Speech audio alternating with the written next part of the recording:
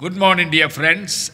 It is a great day, and let us begin this day with a few minutes of silence in the presence of the Lord. और सुप्रभात मेरे मित्रों और ये एक बहुत ही सुंदर और महान दिन है और होने दे इस दिन की शुरुआत को करने से पहले हम कुछ क्षण शांत होकर परमेश्वर की वाणी को सुने For this will prepare you and me to face this day. क्योंकि ये जो मनन है ये जो समय है ये आपको और मुझे तैयार करेगा कि हम आगे दिन को देखें और उसका सामना करें meditation is centered around uh, Ephesians chapter 1, verse 17. और आज का जो हमारा मनन है उसे लिया गया है इफिसियों की पत्री उसका पहला अध्याय सत्रहवें वचन से now the question is what are we to pray for?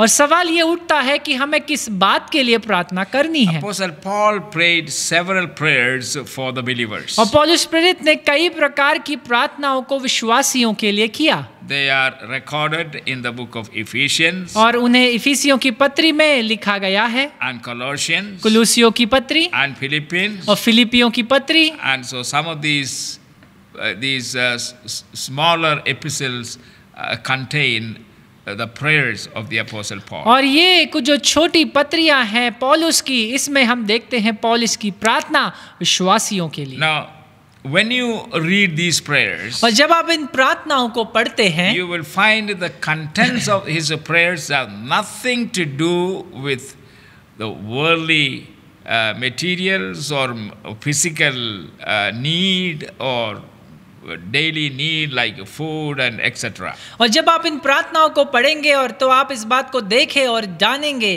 कि इन प्रार्थनाओं का लेना देना हमारी हर दिन की किसी ज़रूरत किसी आवश्यकता या पूर्ति के बारे में नहीं है। नॉट इवन फॉर हीलिंग और यहाँ तक कि चंगाई के लिए भी नहीं।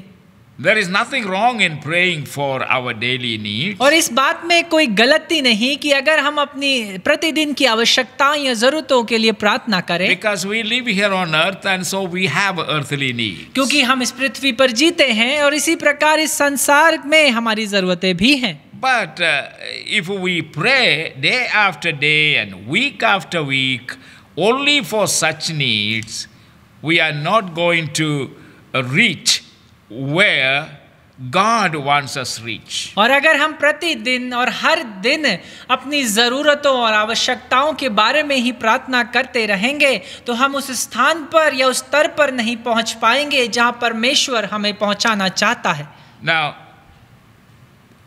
today's uh, meditation it can be titled The Spirit of Wisdom and Knowledge of Christ. और आज के मनन को हम शीर्षक दे सकते हैं आत्मा का ज्ञान और बुद्धि। No, Spirit of Wisdom. और आज का जो हमारा मनन है उसका शीर्षक है ज्ञान की आत्मा। एंड नॉलेज ऑफ़ क्राइस्ट और पर, परमेश्वर या मसीहा का जो ज्ञान है हमारे पास।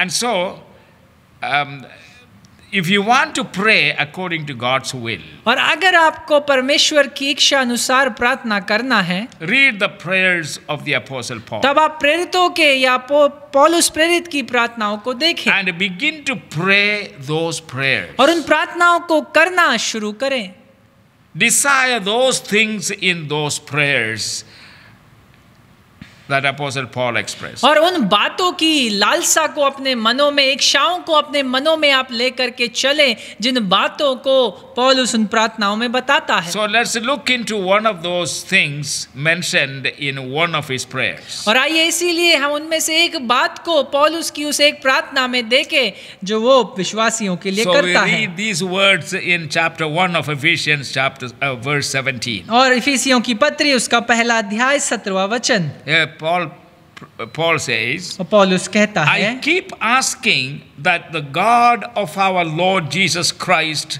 the glorious Father, may give you the spirit of wisdom and revelation so that you may know him better, that is, know Jesus better.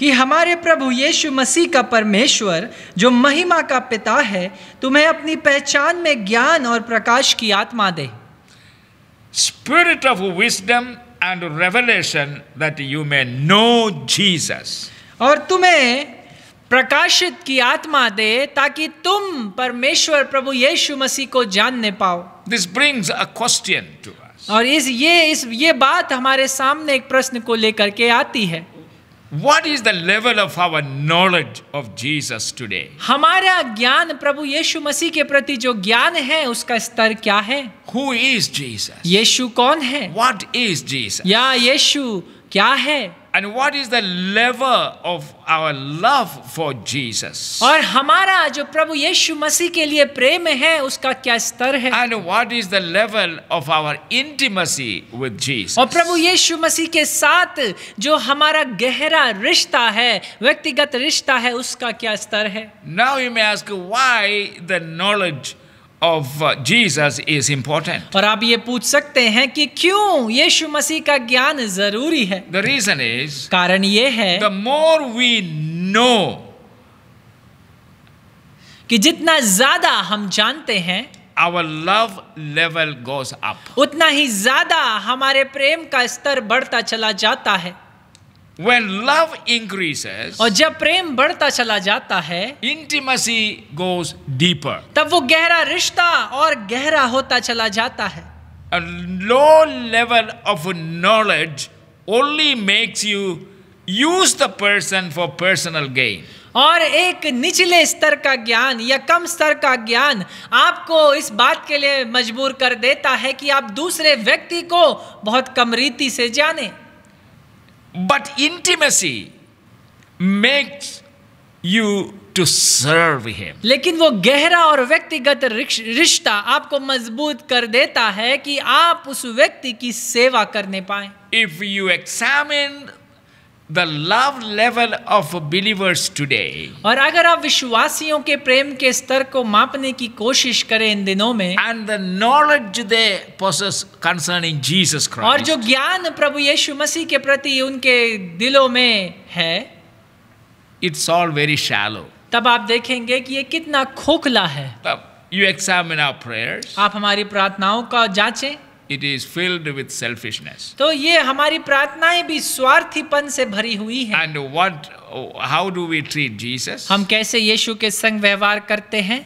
We are using him. हम उसका प्रयोग करते हैं Jesus is a person of convenience, a God of convenience. और यीशु हमारे लिए एक ऐसा परमेश्वर बन जाता है जो हमारे अनुसार काम करे That is why Christian life is very shallow, that the world does not see anything Christian in us. और इसीलिए मसीही जीवन अब इतना खोखला बन गया है कि अब ये संसार भी हमारे भीतर उस यीशु को देखने नहीं पाता See, our love must increase and lead us to intimacy with Jesus. और हमारा प्रेम बढ़ते चले जाना चाहिए और हमें परमेश्वर प्रभु यीशु मसीह के साथ एक गहरे रिश्ते में बढ़ाता चला And intimacy with Jesus makes us to serve Him and not use him और एक प्रभु यीशु मसीह के साथ गहरा रिश्ता हमें मजबूर करता है कि हम उसकी सेवा करें ना कि उसका लाभ उठाएँ। ऑन द अदर हैंड लेकिन दूसरे हाथ पर it is Jesus who must use us for his glory ये तो यीशु है जिसे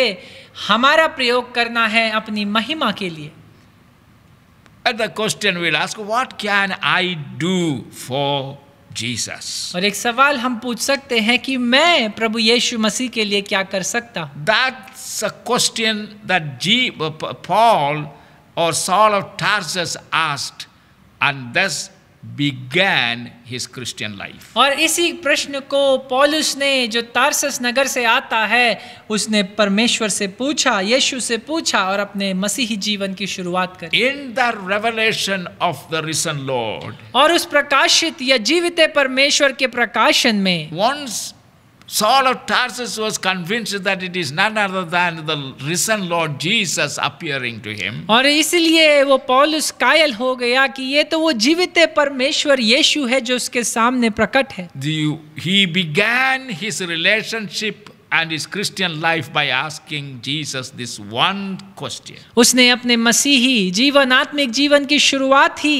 इस सिर्फ़ एक सवाल को पूछते हुए करी Lord, कि प्रभु what do you want me to do for you? आप क्या चाहते हैं कि मैं आपके लिए क्या करूँ never thought, he never asked, Lord, If I serve you, what will you do for me? पौलुस ने कभी ये नहीं पूछा कि परमेश्वर अगर मैं तेरी सेवा करता हूँ तो तू मेरे लिए क्या करेगा Paul was ready to follow Jesus and serve him, and he never expected Jesus to do anything for him. और पौलुस तो हमेशा तैयार था कि वो यीशु मसीह के पीछे चले उसकी सेवा करे और ऐसा नहीं चाहता था कि परमेश्वर उसकी सेवा करे In fact, Jesus told him how much he was going to suffer. और यहाँ तक कि. यीशु ने उसे इस बात को भी बता दिया कि कितना उसे परमेश्वर के नाम के लिए कष्ट उठाना है But Paul never looked back. लेकिन पॉल उसने कभी पलट कर नहीं देखा Nearly 33 years. और 33 साल लगभग He kept on going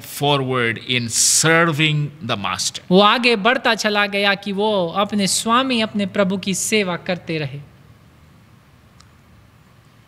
So, what can I do for you, O Lord? That should be the question that every Christian must ask. तो एक ऐसा सवाल जो हर एक मसीह को पूछना है वो ये है कि परमेश्वर मैं तेरे लिए क्या कर सकता हूँ Jesus told the Samaritan woman, यीशु ने उस हमारी स्त्री से ये बोला if you only knew Who is speaking to you?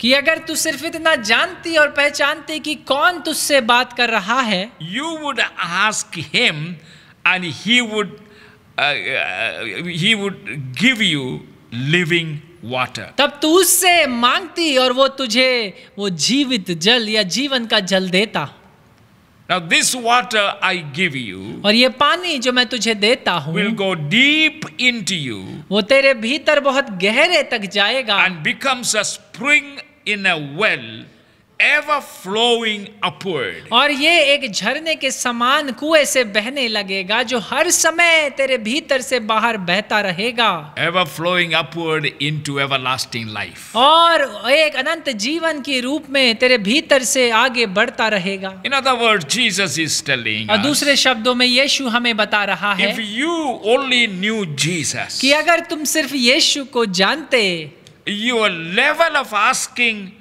will be higher. तब तुम्हारा मांगने का स्तर काफ़ी ऊँचा हो जाता What you ask will be different from physical.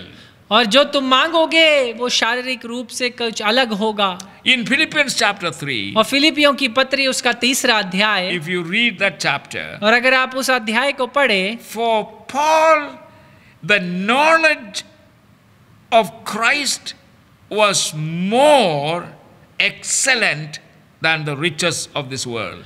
पौलुस के लिए परमेश्वर का ज्ञान और उसकी उपस्थिति इस संसार के लाभ से कहीं ज़्यादा था The one thing he wanted the most. और एक ऐसी बात जिसको वो सबसे ज़्यादा चाहता था I want to know Jesus कि मैं तो यीशु को जानना चाहता हूँ and enter into his suffering और उसके संग दुखों में सहभागिता करना चाहता हूँ। और इसके साथ ही साथ उसके दुखों और कष्टों में सहभागिता करता चला जाए नो हिम ताकि मैं उसे जानने पाऊँ। The one thing Paul desired the most. और एक ऐसी बात जिसकी इच्छा पॉल उसने करी। He didn't care about the suffering. और वो कष्टों के बारे में उसने चिंता नहीं In fact, there is no, not Christians known who suffered for Jesus Christ more than the apostle Paul. और यहाँ तक कि ऐसा भी हम देख सकते हैं कि ऐसा कोई दूसरा ईसाई या मसीह नहीं पाया गया जो पौलुस के समान यीशु मसीह के लिए बलिदान और So- और ताड़ना दी गई हो So read Philippians chapter 3 verse 10. और इसलिए फिलिपियो की पत्री तीसरा अध्याय दसवें वचन को पढ़ें And uh, there you read what I just mentioned. और वहाँ पर आप पढ़ेंगे जो मैंने अभी बताया And I encourage you to read it for yourself today, today before you sleep. और मैं आपको अनुरोध करता हूँ आपको प्रोत्साहित करता हूँ कि आज के दिन आप सोने से पहले इन वचन को ज़रूर पढ़ें You want to read it? और फिलिपियो की पत्री तह तीसरा अध्याय दसवां वचन ताकि मैं उन उसको और उसके मृत्युंजय के सामर्थ्य को और उसके साथ दुखों में सहभागी होने के मम्र को जानूं और उसकी मृत्यु की समानता को प्राप्त करूँ कि मैं भी किसी रीति में से मरे हुओं में से जी उठने का पद तक पहुँच जाऊँ Amen. Amen Let this be your desire. और होने दे यही आपकी इच्छा होने Let पाए this be your prayer. और होने दे यही आपकी प्रार्थना होने पाए More than anything else. कि किसी और बात से The बढ़कर knowledge of Christ must deepen your intimacy with Him. उस मसीहा का ज्ञान और उसके संग सहभागिता गहरी होती चली जाए God bless you. परमेश्वर आप सबको आशीष दे The time is very short. याद रखिए समय बहुत निकट है The Lord is coming very और fast. परमेश्वर बहुत जल्द ही आ रहा है And by the time He comes, और जब तक वो आएगा let Him find you and me होने दे वो आपको और मुझे walking with Jesus. हमें यीशु के संग चलता हुआ पाए Amen. Amen. Heavenly Father, हमारे स्वर्गीय पिता we heard it today from your word, from the words तेरे- of the Apostle Paul. हमने तेरे प्रेरित पौलुस के मुख से इस वचन को सुना By human strength or wisdom, it is not possible. और मनुष्य मानवीय सामर्थ और शक्ति के द्वारा ये संभव नहीं That's why we need the Holy Spirit. और इसीलिए हमें पवित्र आत्मा की आवश्यकता है So we call upon the name of the Lord और इसीलिए Jesus. हम प्रभु यीशु मसीह के नाम को पुकारते हैं Pour out your Spirit upon us. और होने दे तेरी पवित्र आत्मा को हम पर That the Spirit may enable us, Spirit may use us, May enlighten us. ताकि पवित्र आत्मा हमें हमारा प्रयोग करे हमारा मार्गदर्शन करे और हमारे हमें प्रकाशित करे Jesus' name. यीशु के नाम में Amen. Amen this is a great day ये एक महान दिन है एंजॉय दिस डे इस दिन का आनंद लें And at the end of this day, और इस दिन के अंत में give glory to God. परमेश्वर को महिमा दें Amen. आमेन